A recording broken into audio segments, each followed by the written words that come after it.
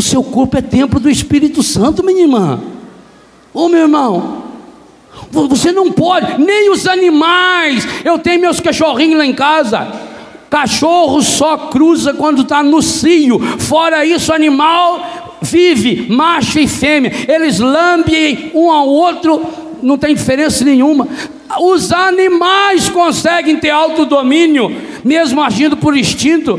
E você, saia dessa escuridão, pelo amor de Deus.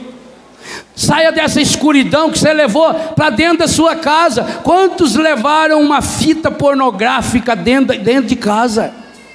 Quantos pais compraram revista? Homem de Deus, pelo amor de Deus.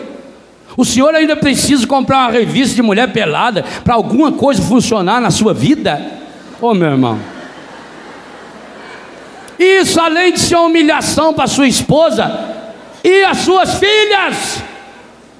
Se fosse a sua filha que estivesse pelada na capa dessa revista, você compraria? Você mostraria para os outros? Se fosse a senhora, sua mãe,